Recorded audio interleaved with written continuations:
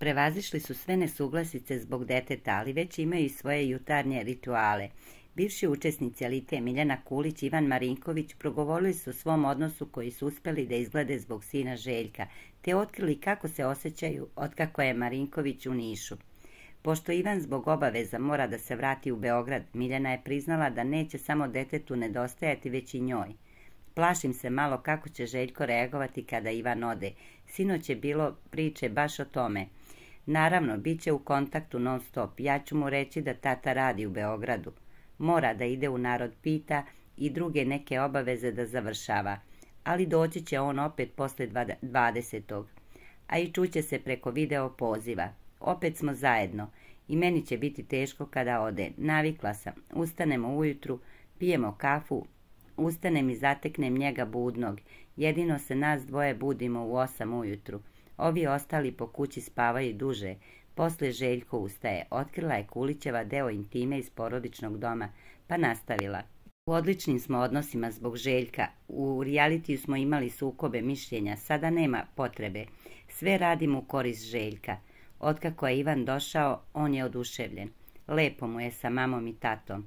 Slavili smo i rođendan, svi smo se, svima se hvalio kako izgleda njegov tata. Spava sa Ivanom, sa mnom neće. Zatim je Marinković priznao da mu je poseta kulićima veoma prijela. Živimo kao da smo u braku, odnosno kao razvedeni pod istim krovom sa detetom. Ova druga proslava je bila zbog njegovih drugara, ali i zbog mene jer sam ja tu. Željko uživa, baš mu je lepo, vidi se po njemu. Cela porodica je tu, ponaša se kao da se nikad nismo ni razdvajali. Roditelji malog Željka su se konačno usoglasili oko njegovog prezimena. Ivan nikad nije osporavao da Željko njegov sin, nego sam se ja naljutila kad sam izašla iz porodilišta i stavila NN lice. Regulisat ćemo da ima dva prezimena, Kulić Marinković, rekla je Miljana, a Ivan je dodao. Oko mene svi imaju dva prezimena, Jelena imala Ilić Marinković, možda ja treba da dodam nečije prezime. Što se mene tiče, to mi nije najvažnije, ostalo će samo doći na svoje. Verovatno ljude to zanima, zanimljivo da komentarišu. On je moj, pa je moj. Željkovi tata i mama bi najviše voleli da on bude sportista, a jedna stvar će mu, kako uglas ističu, biti striktno zabranjena. Vidimo da će biti visok na sinišu, nadamo se da će biti sportista. Sigurno nećemo dozvoliti da bude reality učesnik, to nikako.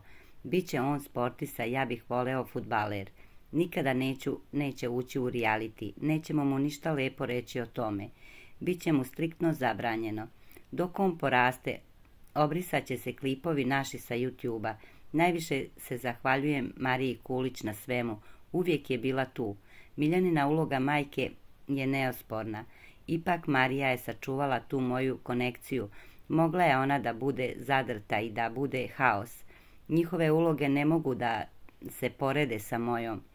Tek ću ja da shvatim kolika je uloga Marija, Marina u Željkovom životu, zaključio je Marinković za blic.